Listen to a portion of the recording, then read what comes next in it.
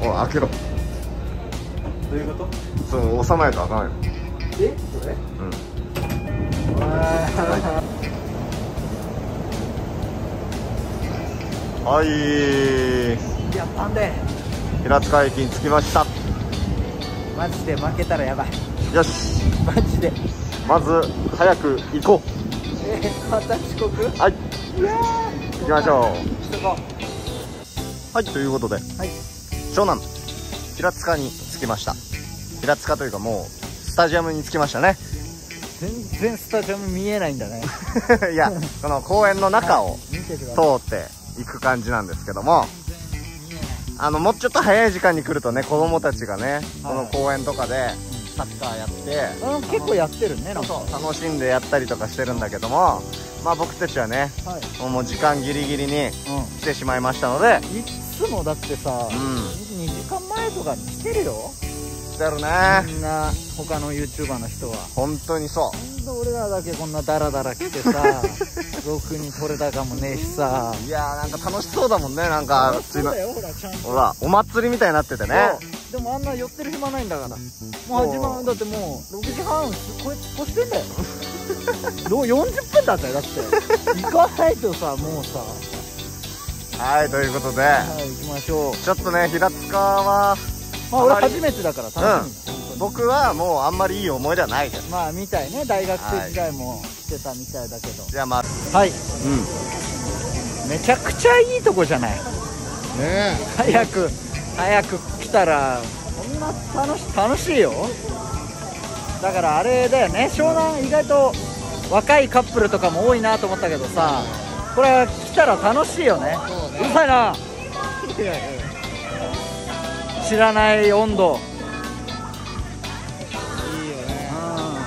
いやめちゃこんな楽しいとこなの？そうだよ。めちゃくちゃいいじゃない、はい。ということで、うん。レモンガススタジアム平塚後ろも見えておりますけども到着ということでいい。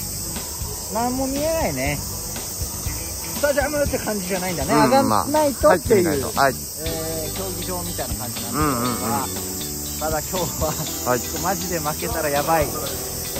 これやばいよ本当に。やばいですよはい勝たないとやばいということで駆けつけました。はい。勝って帰ろう。どうですか今日は？ん？期待の選手。まあ、小柏が本当何もしてないから今年。点ぐらい取ってくれ本ないと。当にそう。活躍してくれないとうん。困るんで、う小柏が点決めてくれればなとよ思いします。はい。はい。いきます。行きましょうはいということで前半戦。終了しましたけど3対0ということでやった。ちょっとパッティさんは出てください。あバカだ。あーはしゃいでる。ということで、はい。前半戦勝3-0ということで。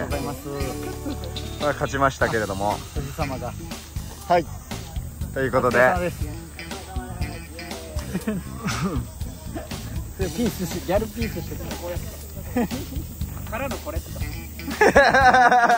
ハートの中に入るやつえじゃああとこれとか。ちょっともう4分あと4分で始まるんで試合が。ありがとうございます。入ったが。はいということで、うん。あもうバチさんどうでした？前半いやー素晴らしかった。はい。やっぱりシュート打つって大事だね。そうですね。本当に今日は勝った。いやそれがちょっと振りになったら困るからやめて。そうだね。どっか、あの3-0から負けたチームがあるっていう噂は？札幌神戸。ということであと近くでゴール見たら、そうだね。その得失点をね減らしたいよね。減らさないのもう無理だからそれは。はいということで、は後半行きましょう。レッツゴーレッツゴー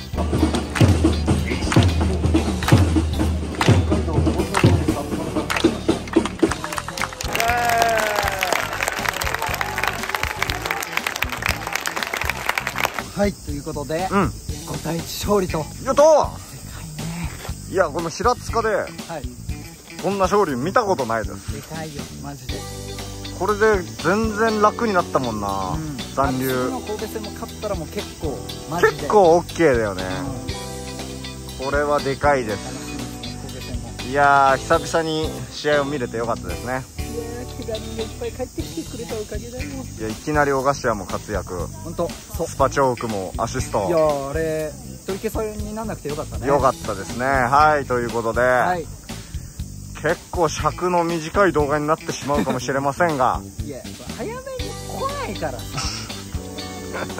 ロケっつうのは。ういつも遅刻だなんだっつって。だらだら行くからでしょもうちょっと楽しみたかったね。うちょこんないいとこだよ。湘南をね。